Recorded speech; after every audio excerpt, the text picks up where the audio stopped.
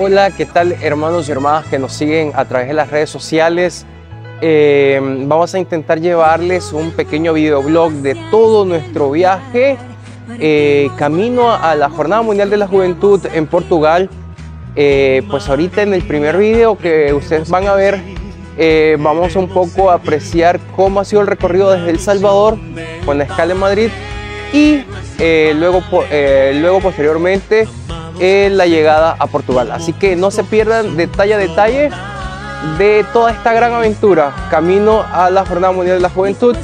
en los días posteriores pues iremos compartiendo la emoción y la alegría de peregrinar, la alegría del encuentro con el otro, la alegría del encuentro con Dios a través de los hermanos, a través de las diferentes actividades de oración, de alabanza, eh, de compartir. Así que no se pierdan ningún detalle. Saludos.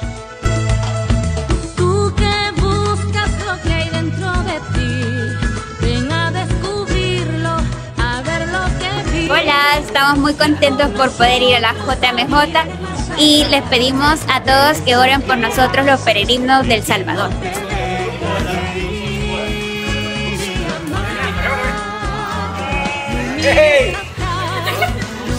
Es un gusto poder dirigirme a ustedes.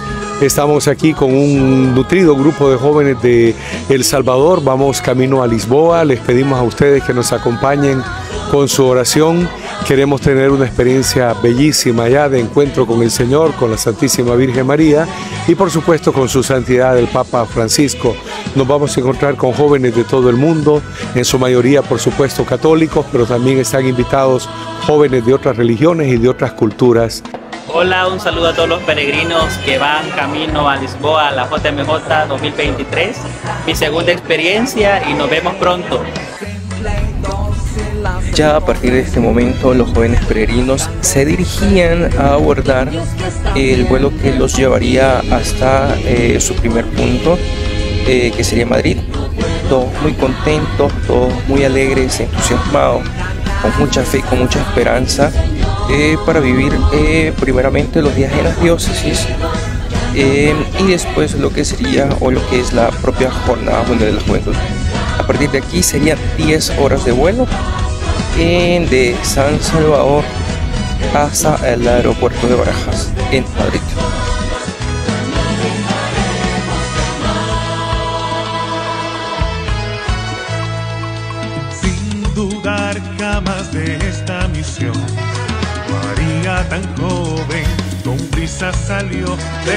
Luego de 10 largas horas de viaje, pues ya en Madrid eh, hicimos un pequeño recorrido para conocer pues, los principales lugares. Dormimos ahí una noche y posteriormente pues eh, iniciamos el camino tan soñado hacia Portugal, eh, donde descansamos un poco en el camino, rezamos, oramos, cantamos. En verdad fue una gran alegría. Eh, después de 5 o 6 horas de viaje, eh, llegamos a nuestro primer punto de referencia en Portugal, en Covadiría. Visitamos eh, las calles, esos lugares donde vivían los pastorcitos de Fátima.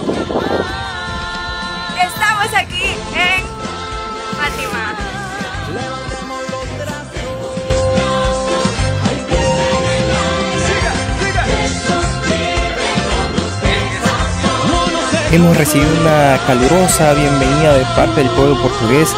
Ya en esta última instancia estamos en, la parroquia de los Pozos, en la diócesis de Leiria, en donde pues eh, nos enviaron con familias que muy alegremente nos han recibido, nos han querido, nos han abrazado y nos han atendido. Pues hasta aquí nuestro primer videoblog y no se pierdan los siguientes. Oren por nosotros, vamos rumbo a la JMJ Lisboa 2023.